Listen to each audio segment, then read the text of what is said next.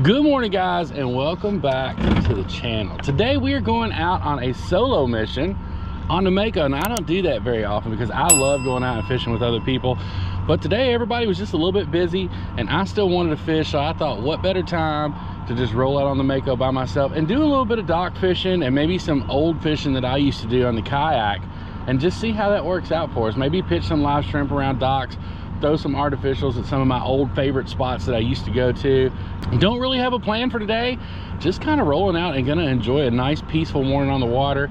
And if we can put a couple fish in the boat, that will be a bonus.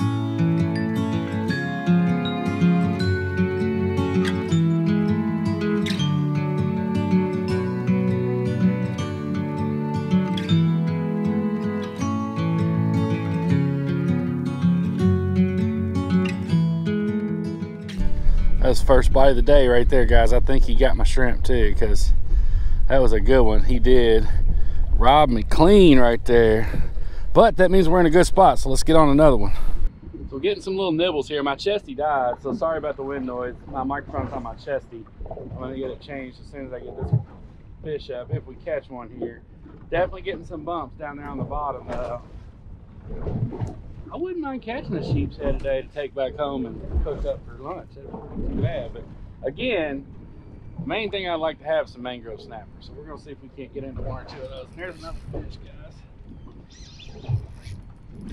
Oh, he broke me off. He didn't break me off, but the hook definitely pulled it. There's a bite, and oh my gosh, guys, they just keep, they won't hang on to it. I don't get it. I don't understand what's happening there. They're just not hanging on to the shrimp. I mean, he had it and ran with it and didn't hang on to it. Oh, that's a good fish, guys. That's a good, oh, he broke me off. Dang it. That's a good fish. That was a good fish, guys. Said could have been a big grouper, could have been a snapper. You just never really know on this structure what you're going to catch. So something's already messing with it again. Uh, so maybe we'll get another shot at him. Another bite, and there he is, fish on. And he's still pulling drag, guys. I don't know what these fish are, but they are like ripping some drag. And I don't even have TV drag set up. That's the real deal. Oh man, just a nice, nice red snapper. That's some of the biggest red snapper I have ever caught out of this place. Now, obviously, these guys are not in season, so not the target species of the day. However, they are fun to catch. That's a nice size red snapper right there, guys. Not bad at all, right in the corner up there. It's a nice hook set. But the best thing is a safe hook set and this fish is going to be just fine on this release. No gill hook or anything like that, but nice, nice red snapper. Thank you, buddy. Not too graceful on the release, but a good fish. So while these fish are very fun to catch, they are not the target species because we have a very protected season here for red snapper. And I think that comes in like June, July, something like that. And then they open it back up for a few weekends in the fall um, but they are strictly off limits otherwise. And I think the limit on them when you can keep them is like 16 inches. So he wasn't big enough to keep anyways. But they give you a good fight nonetheless. But I'd really like to catch something that I could take home and throw on the cooker for some food. There we go, fish on. That's a good fish, guys. I got lots of drag and he is still, I got my drag real tight and he is still fighting for everything right here, guys. Hoping he don't break my rod, but if I let him get down in that structure, I'm gonna be in trouble. And he broke me off. Dang it! That's another problem with here, is you can't really give them much, because if you do, they're gonna get you into that structure and break you off just like that right there every time. And he definitely broke me all the way off.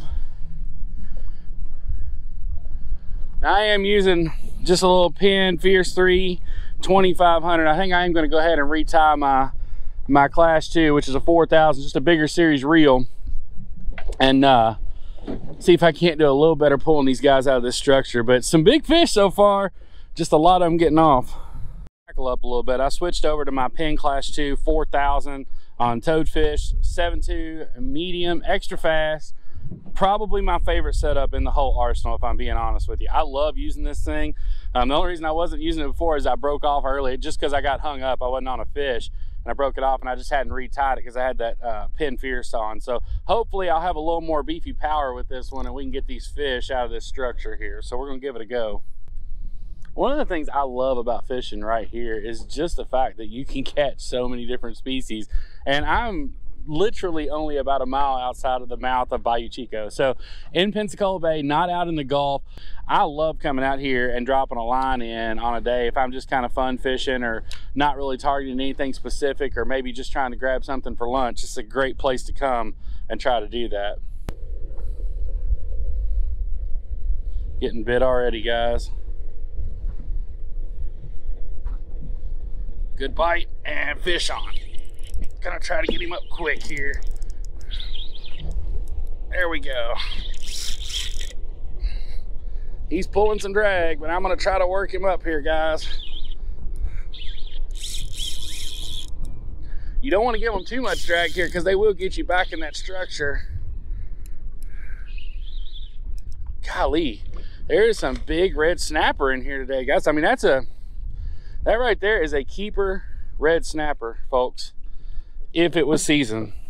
And of course, we've talked about it. We can't keep them because we're not in season, but that is a big fish right there, guys. It really is. Nice red snapper there, guys. Getting back, well, not a very graceful release, but there he was. I thought maybe he got my shrimp, but it feels like it's still on there. He definitely, like, took the back end off of it though as you can see. That might have been a sheep's head bite right there actually guys because a lot of times they'll take the back half of a shrimp like that. But either way we're gonna go ahead and get we got plenty of live shrimp today. So we're gonna go ahead and get another one put on there. Decent little bite guys. And fish on. There we go. This might be a different species. No it's gonna be another red snapper. You can almost tell by the way no it's not it is a nice sheep's head. That's crazy. We just talked about wanting to catch a decent little sheep's head there. And there he is, folks. Not a bad sheeper at all in the boat. There you go, guys. Nice sheep's head. Like I said, I'm actually going to take him home and clean him up and have some black and sheep's head for supper.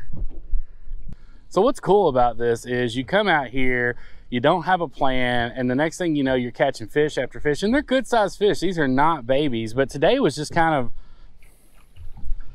oh yeah, another fish on. Just as I was sitting there talking to you, I was just trying to do a talking piece, and now we're on again. This is probably gonna be another red snapper, I imagine. He, yeah, for sure, for sure. So what I was saying was how fun it is to be able to come out here and catch multiple species of fish and just kind of enjoy yourself on a day like today. Oh, this guy is fighting and trying to spine me. But just another little cool Pensacola Bay red snapper. Again, can't keep these guys right now, but man, what a cool fight. Plus, I already got lunch, so everything from here on out is just fun fishing. Get this guy back in the water, and there he goes. Oh, I don't know if we are or not. It depends on whether he gets his video. Hey, I gotta go. I'm getting a bite.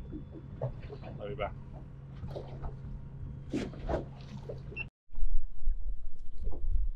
And another fish on, guys, right there. Oh yeah, that's a good fish. That's a good fish, guys. If I can get him out of structure, that's a good fish. Ah, Chihuahua, come on up, buddy. I think I got him. I think I got him whooped. Ay. Oh man, guys, this is gonna be a good one. This is gonna be a good one right here. Oh my gosh, that is a giant red snapper for in here, guys. Golly. No, no, no, no. Oh my gosh. You're not gonna believe this. Ah! Woo! Are you kidding me right now, baby? Yes. Look, guys, look at this. Look at this, guys. Oh my gosh, are you kidding me right now? Look at this. Big giant bull red. Giant bull red. Maybe my new PB bull red. Oh, are you kidding me right now? Are you freaking kidding me, baby? Look at this. This might be my new PB bull red, guys. I was not expecting this bit fish to be out here. Oh my gosh. Woo! Are you kidding me right now? That is freaking awesome, guys. Let's get this guy up to the front of the boat. Get him out of the net and get him measured. oh, guys, check this out. So close to beating my PB. He just tied him. That's a full 36 inch bull red right there, guys. Oh. Check out this fish, guys. That is a big old bull red. Caught him on live shrimp. Was not expecting to pull this guy out here, but I'm gonna get him back in the water. Tied my PB. That's a 36 inch bull red right there, but we're gonna get a safe release on him here. He ready to rock and roll. See you, buddy. Yes, guys. Woo! If I seem excited, it's because I am. That's the biggest fish I've ever caught at this spot, for starters. And was not expecting that, man. Just when he came up, I thought it was a big black drum um, because he just kind of rolled and I only saw a little bit of the top of him. And then when he rolled all the way over, I saw that black spot on his tail and realized that he was a red snapper, or I'm sorry, a red drum. And I definitely got super excited right there. So what a great fish to catch at this spot. I don't think I could have written up a better day of fishing if I had tried. It was just a blast out there on Pensacola Bay today. It was not too choppy. The weather is beautiful. I am so happy to see summer starting to roll back in because you guys know the winter was just brutal. But for now, I think we're gonna take this sheep's head back to the house and I'm gonna cook this guy up just a little bit different than you've ever seen us cook one before. You guys come check it out. All right, guys, so we are back at the house in the backyard getting ready to fillet up this sheep's head. And we're gonna cook it a little bit different today because today we're actually gonna cook it on the Blackstone. Now the Blackstone's a unique grill because it actually works like a cast iron skillet almost.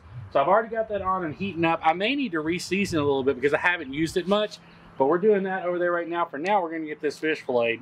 I always like to fillet sheep's head starting with my electric Bubba Blade just because they got such a dense scale that by doing it this way, I can go ahead and use that serrated edge and get cut right through. And then after I get it cut off, I'll actually use the toadfish fillet knife to actually take it off of the skin. But I do like to start with this Bubba Blade just because they have such thick scales. And now once I get the fillet cut off the actual fish, I go over and use my toadfish knife. Um, it is a super sharp knife and then that's how I actually remove the fillet off the skin. And as you can see there, it just cuts right through it. I do want to start off by saying this video is not sponsored by Toadfish in any way, shape, or form, but this really is an amazing product. If you do not have a good fillet knife, they actually sell this in a kit with this, which is a folding fillet knife. Almost cut myself there. And then also a folding cutting board. And you can find these on the Toadfish website. I'm actually going to link that in the description below. Again, they do not sponsor us in any way. I really like what Toadfish stands for and what they do. If you've never kind of read the story on Toadfish products, you really should go on and kind of see what they do. They do a ton of conservation effort stuff to restore oyster beds and things of that nature. So I'm going to link the fillet kit down below. Make sure you go check them out. They have a wide variety of products. Uh, you know, fillet knives, cutting boards. They're the ones that make the no-tip can coolers, which is really cool. They make awesome fishing rods. Most of the rods I use now are Toadfish rods. So go give them a look. And if it's something you guys are interested in buying, check them out. It goes to a really, really great cause. So I'm just to start off seasoning this up real good because what I'm to do is I'm actually to blacken this fish.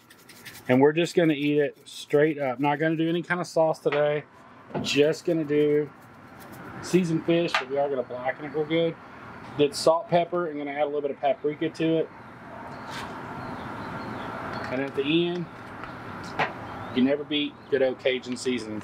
So what we're gonna do is just take a nice little slab of butter here, doesn't matter how much, and we're gonna actually lay it off on the back blackstone and let it start melting. Once it does that, we're just gonna work it around. And basically we're doing exactly like you see them do at hibachi. We're just making a little bed of butter here to lay our fish on, on the blackstone. And we're gonna cook this on a really, really high temperature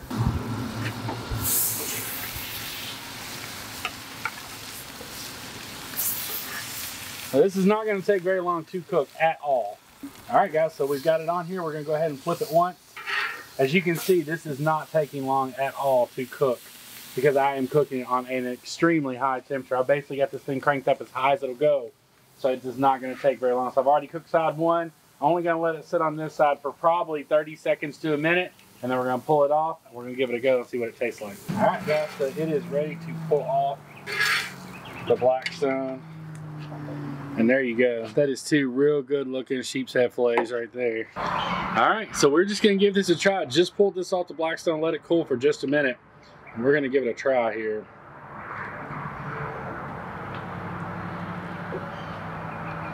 Oh man. This is probably the best fish I've ever made myself at home. Guys, check it out when you pull this apart.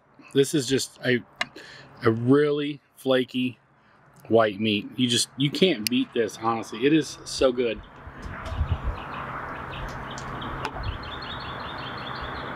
Hands down the best fish I've ever personally made at home. And, uh, you know, if you had a little sauce that you put with this, I really wanted to taste it just to see if we got the blackening right. If you put a little sauce with this, it would literally send it over the top. So I'm to take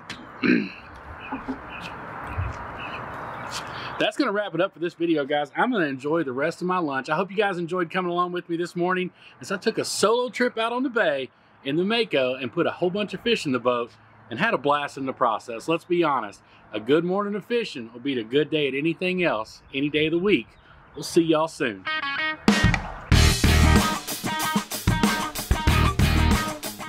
I hope you guys enjoyed that video. We cannot thank you enough for tuning in with us each and every week for all of these adventures. Make sure you leave a comment down below and let us know what you thought about this episode. We'd really like to hear from you. And if you're new here, we would love it if you'd take a moment and smash that subscribe button. I hope each and every one of you has a great week, and we can't wait to see you on the next one. Y'all take care, and we'll see you soon.